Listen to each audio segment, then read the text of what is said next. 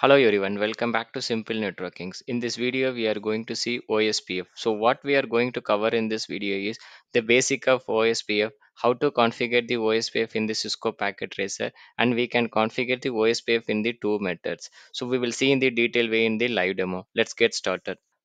OSPF stands for Open Shortest Path First. In OSPF generally we will use in the large scale of enterprise networks and the internet end. And this is the IGP protocol in that this is the link state protocol. This protocol using the Dijkstra shortest path first algorithms.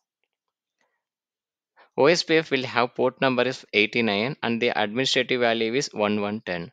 In multicast IP address, two types. One is 224.0.0.5, another one is 224.0.0.6. So 224.0.0.5 generally using in the OSPF to exchange the neighbor information, and another one is for using the DR BDR exchanging the information. And we have two type of OSPF, OSPF version 2 and version 3. So version 1 generally we are using for the IPv4 and version 3 we will use for the IPv6 so we will I will explain step by step configuration. I will just quickly explain the demo of this simulation. I have pre-configured the IP address for this time saving. I will quickly explain. So this is the range which is 192.168.1.1 slash 24 so subnet mask is 255.255.255.0 and we are using area 0 for the all the three networks. So just created a three topology or we can say three setups. So let's quickly configure the here okay? So going to the CLI enable config T router OSPF process ID this process ID we need to keep for the all the routers. After that network we need to introduce the connected network. So 192.168.3.0 192.168.3.0 is the range. Then subnet mask actually 255.255.255.0 here we have to use wildcard mask in OSPF so I'm going to use 0 dot 0 dot 0 dot 255 then area is 0 okay. Then same way I need to create the range for the 20.0 here see this IP address is connected 20 right? So I need to create 20.0 area 0 done. Okay. Now this is router 2 configuration is done. Now this router CLI enable config T router OSPF 1 network 192.168.20.0 0 dot 0 dot 0 dot 255 area 0 okay? So how how i made it 192.168.20.0 is here right? This is done. The next to other end is 10 dot 2 right?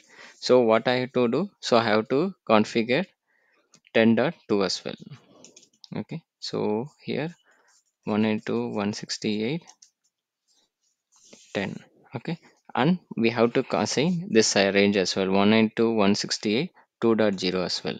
192 168 2.0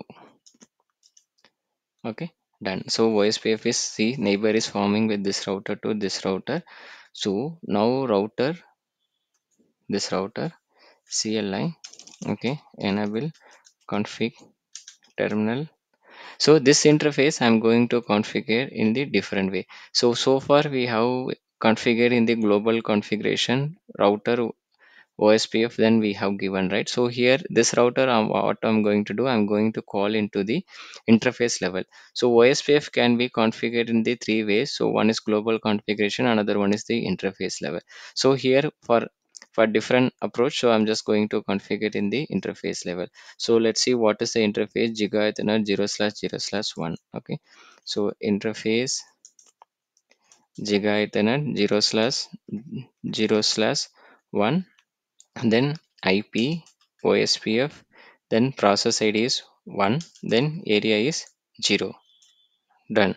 Then it's the same way coming out from the interface then interface there is one more interface is there right? So what is that interface? Let's see quickly.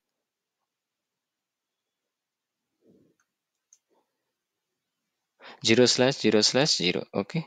Interface 0 slash 0 slash 0 slash 0 same configuration ip ospf 1 area 0 hit enter come exit come exit show ip ospf neighbor to see the neighborship table okay? So the neighborship start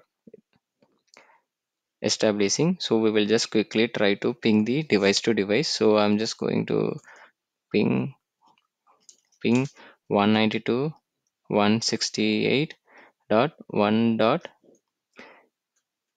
11 so i'm just trying to ping the ip address from this pc to this pc then we will try to ping the area to area. I mean network to network okay? So this is able to ping.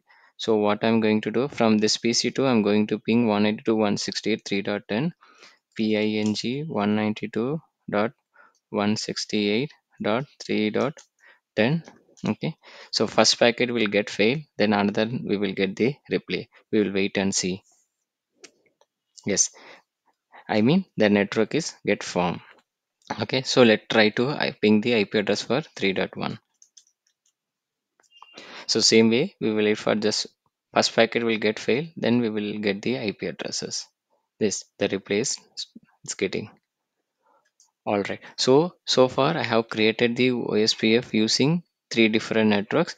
Let's say this is this network we have configured in the global configuration. Same way this is also configured in the global configuration but this network we have configured into the interface level. But if you have noticed interface level we no need to give the network IP, network range because let's say here if you see here we have we just we are enabling the ospf that we are creating we are advertising the one network and we are mentioning the area 0 but if you see this router we are just going to the interface and we are giving the we are establishing the ospf we are not giving the network range. Reason this interface already have configured the range right? So that will be take care so let me take it. Let me just quickly copy and paste you. Copy. Show ip interface if you see here 192.168.1.1 right. So it will be taken care. Let me ip show ip route.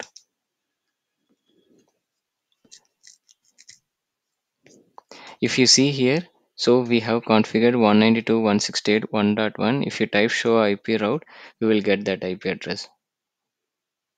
1.1 it is it is connected as l. Actually here c means connected l means locally connected o means representing the ospf okay. So if you have any doubt regarding this one please feel free to write the comments in the comment box. Also please like and subscribe to our channel. We will meet you in the next video. Bye